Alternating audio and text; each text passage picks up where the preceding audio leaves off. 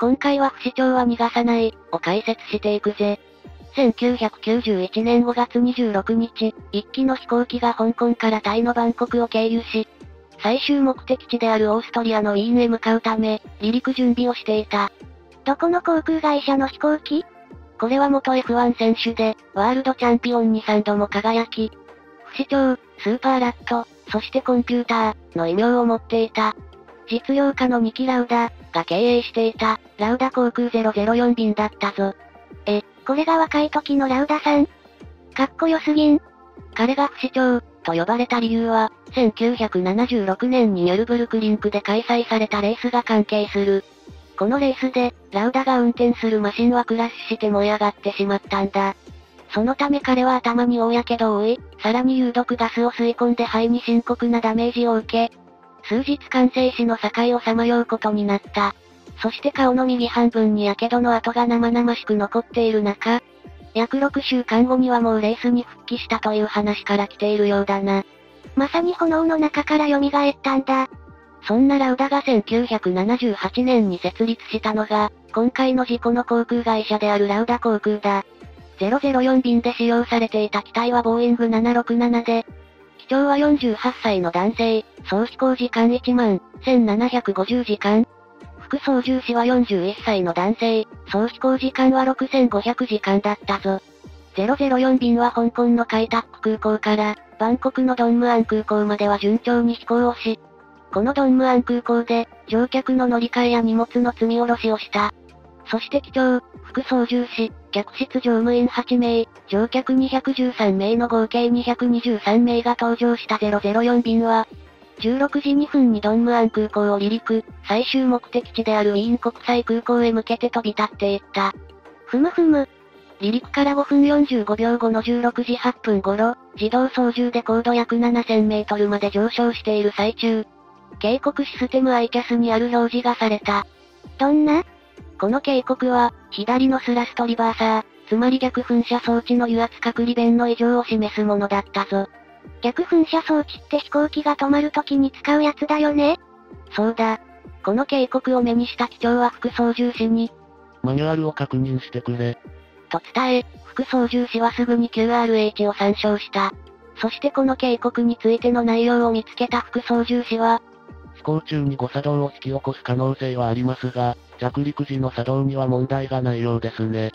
と機長に報告をした。これに対して機長も、表示がついたり消えたりしているな。これはただの助言項目だろ。きっと湿気などの影響だ。と言い、特に気にする様子はなかった。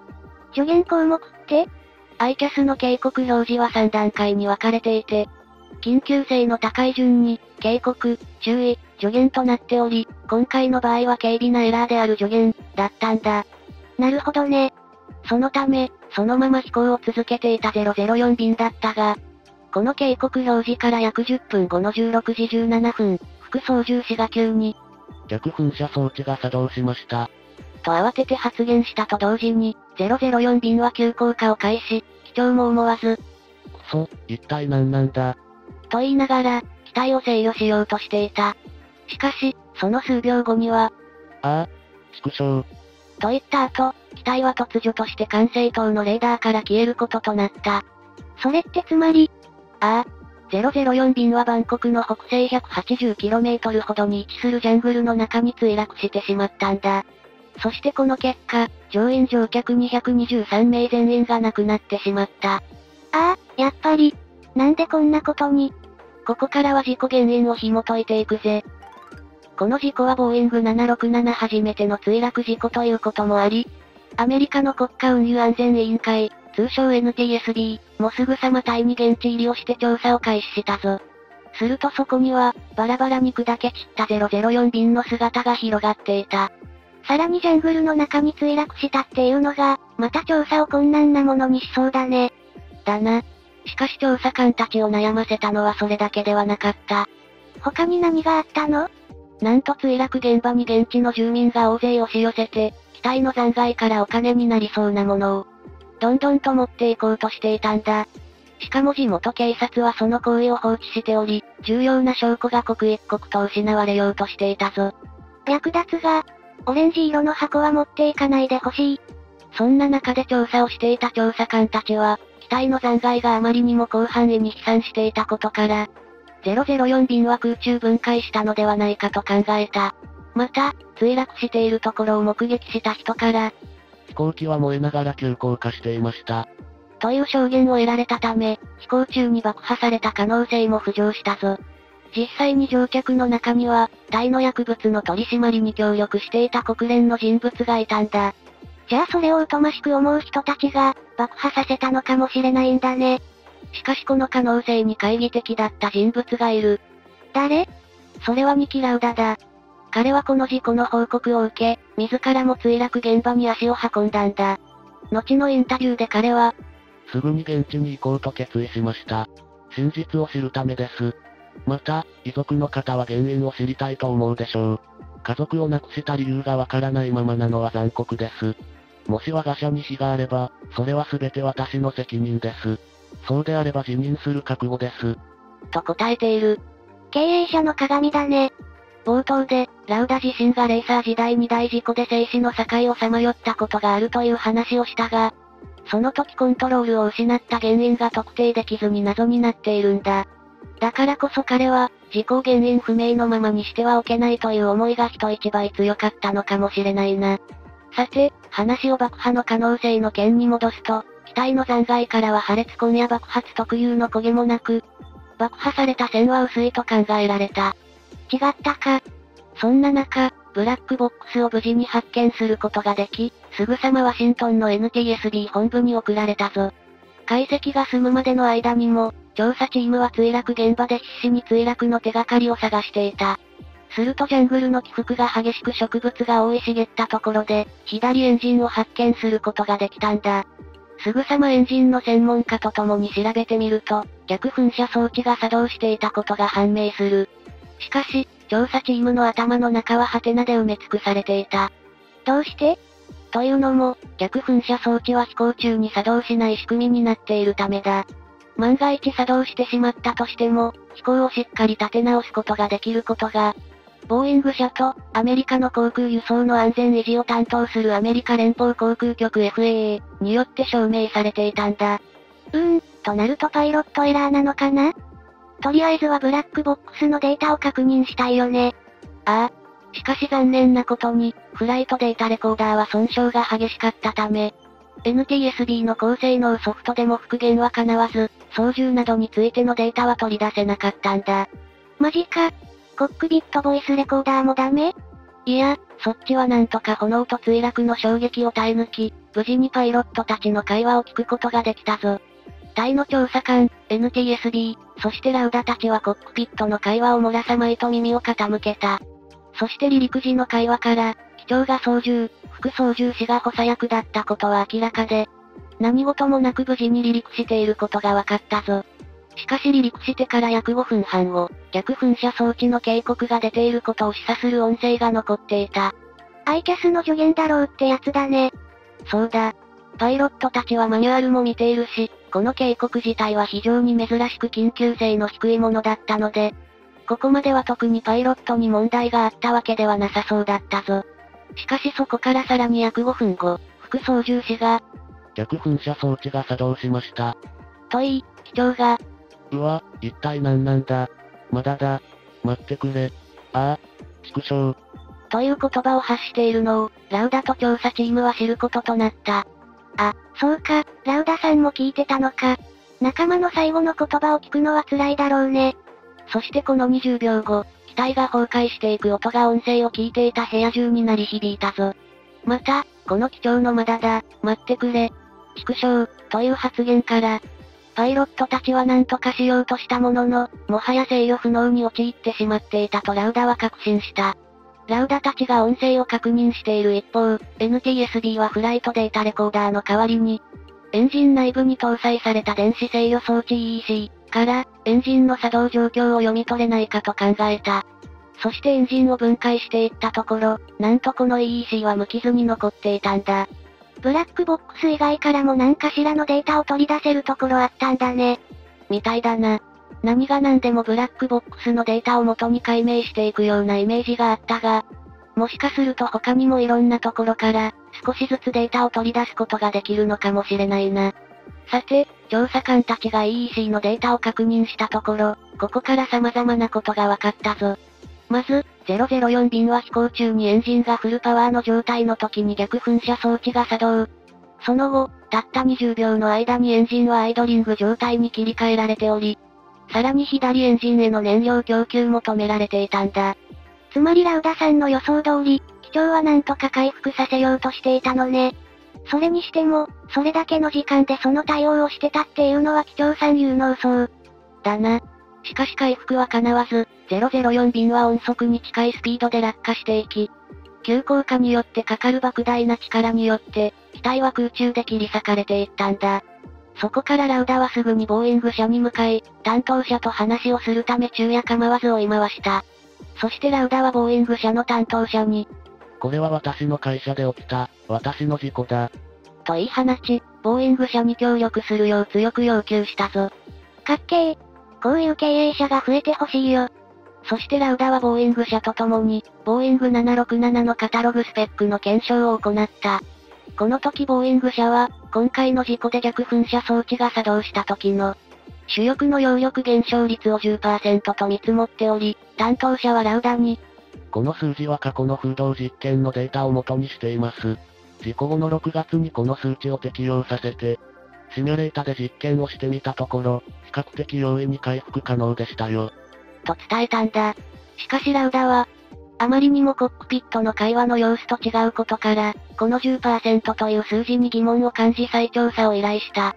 そしてその結果、フルパワーで上昇している時に逆噴射装置を作動させると、揚力は25%減少、アイドル状態に移行したとしても13%減少することが分かったんだ。見積もりと全然違うじゃん。そしてこの結果をシミュレータに入力し、9月に改めて試験してみたところ、左の揚力が25%減少している機体を放っておくと、機体は毎秒28度の割合で左にロール、かつ急降下を開始し、一気に速度超過状態になることが判明した。この状態から回復できるのかを確認するため、ボーイング社のチーフパイロットがシミュレータで何度もテストしたところ、右エンジンが上昇出力状態のままの時は、4秒の間に操縦桿と方向打を右いっぱいに操作をすれば、なんとか機体を制御するということが分かったんだ。ただ、その時間を過ぎると、何をどうしても回復は不可能だった。たったの4秒。ちなみにエンジンがアイドル状態だったとしても、わずか6秒の間に回復させなければいけなかったようだ。だがこの結果を踏まえてボーイング社は、シミュレータではかろうじて回復は可能でした。と主張したため、ラウダは、私にも同条件で試験させてほしい。と訴えたぞ。え？いくらレーサーだったとはいえ、飛行機の操縦はできないんじゃ。いや、実はラウダはレーサー時代にボーイング737のパイロット免許を取得しているんだ。ええー、スペック高すぎない？そしてラウダは15回もシミュレータで挑戦したものの、一度も回復することはできなかった。そのためラウダはボーイング社に対し、シミュレータで回復できたというパイロットを実機に乗せて操縦させて、同じ試験を行ってくれ。私もその飛行機に同乗する。と言い放ったんだ。おそらくこの時、ボーイング社の担当は困った顔をしていただろうな。さらにラウダは、もしそれができないというのであれば、事故の責任はボーイング社にあったことを公式発表すべきだ。と迫ったんだ。すげえ。こういった経緯を踏まえ、事実上、逆噴射が作動した時点で回復は不可能とされたぞ。うーん、でもさ、なんか逆噴射が作動しても大丈夫なことが証明されていたみたいなこと言ってなかった？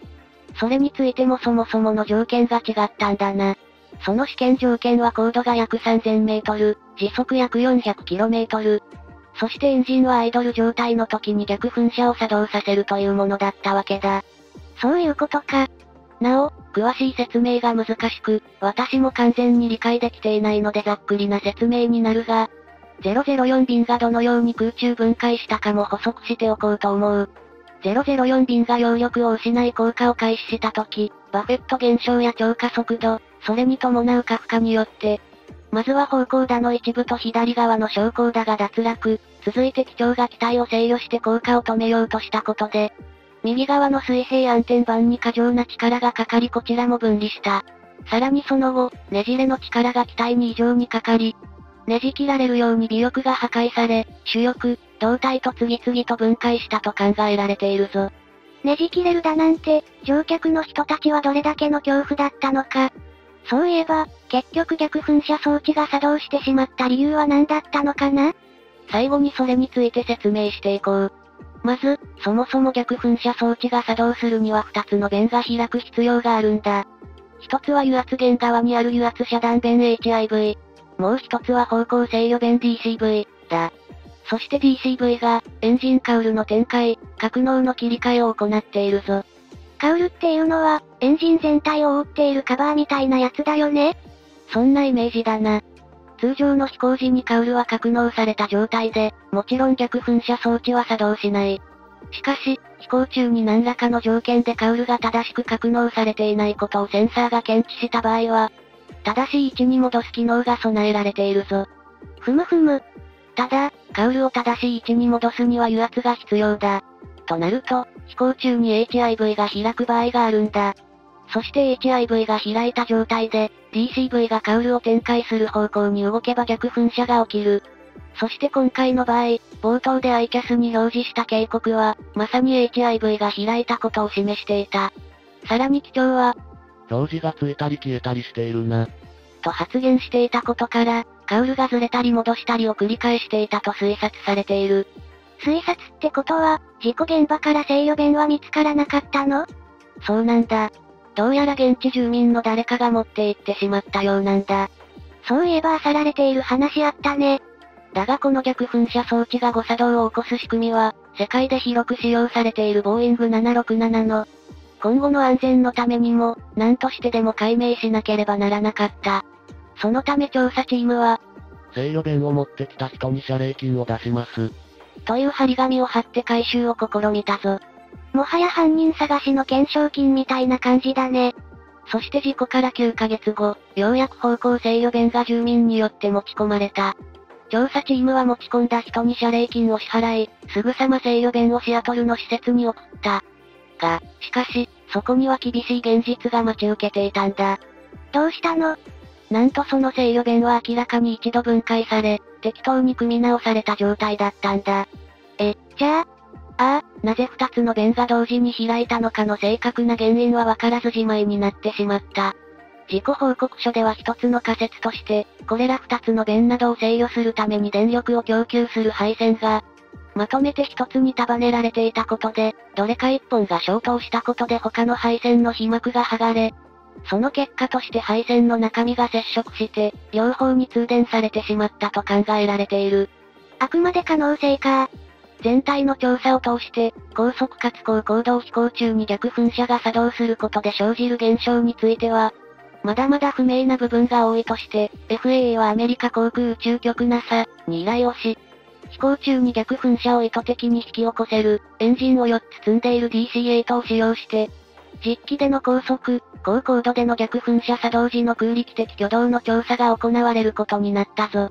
実機で、そしてこのテストを通して、空気の流れがどう阻害されるのかを解明していき、万が一制御弁が同時に2つ開いたとしても問題がないように、何重にもロックがかけられることになったんだ。完全なる原因はわからなかったとはいえ、ラウダさんの追求のおかげで、航空機に問題があることを発見できたのは大きいよね。だな。ラウダ航空はこの事故の後も9年間操業を続け、2000年にオーストリア航空の完全子会社になり、2012年には正式にオーストリア航空に統合されたぞ。